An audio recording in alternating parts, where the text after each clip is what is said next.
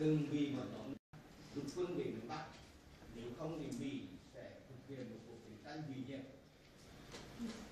ông phạm văn đồng ta đập bàn đập mạnh vào giờ bàn và họ đi bây giờ mình thương tài liệu bật ra này. lúc đó không ai nghĩ được rằng là ông phạm văn đồng đã, nhưng bây giờ mới biết được sau khi thẳng nghĩ mới biết được là Dung.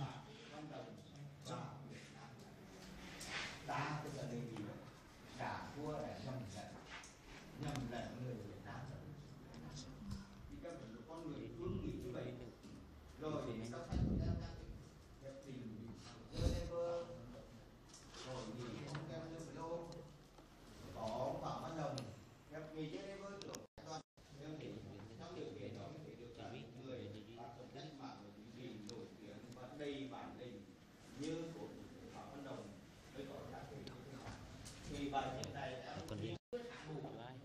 và như vậy họ ngầm cười lúc khắc non phong từ đặc biệt là khi dân tộc nữ lòng em không tổ hưởng trong bài chúng người cùng nguyên quốc em đọc đó.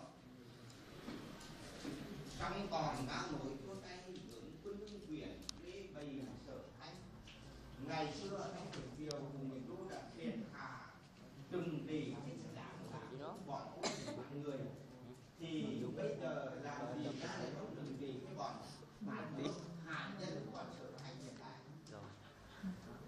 trong tổng nghị đều có ý nghĩa đặc biệt là ông đặt vấn đề với cái gì? Vì bằng nghị luận nó có cái đề với bằng sao học có ai được đâu cả ý thì những ý nào tại sao ý này lại được? Ý này lại sao? Tại sao lại ý thì nói ra biết ra? Ý này nói ngắn biết ngắn. Đấy, trong đó có phải thời lượng với nhau? Mục đích của nhà văn